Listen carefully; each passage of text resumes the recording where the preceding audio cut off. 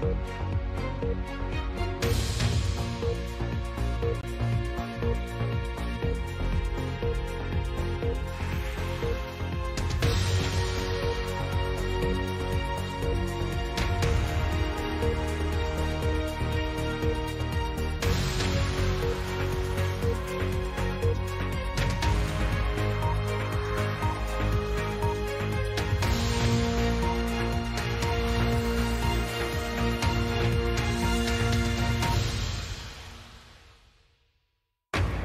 This is BBC News. I'm Martine Croxall. The headlines at four. COVID vaccine passports for Scotland. The Scottish Government defends its plans from criticism from MSPs.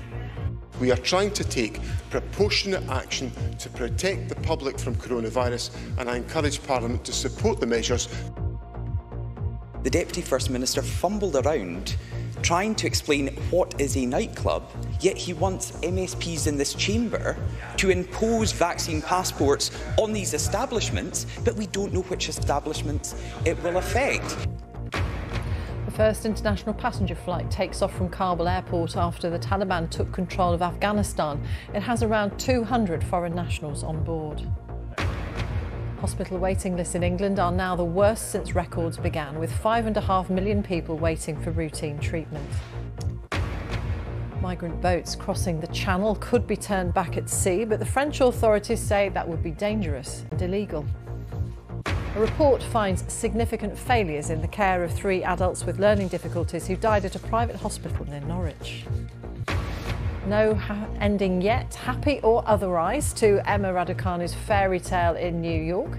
The teenager's record breaking run at the US Open reaches the semi finals.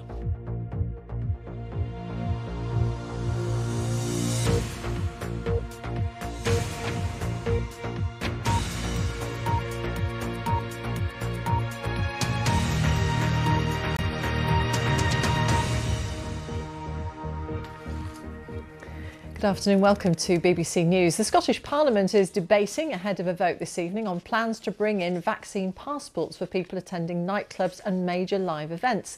The Deputy First Minister John Swinney said the move was a proportionate response to the continued risks from COVID.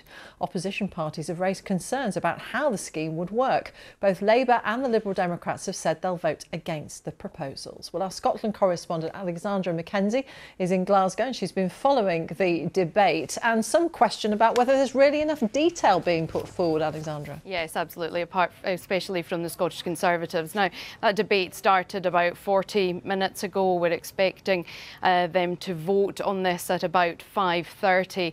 And it started just around the time that today's COVID figures um,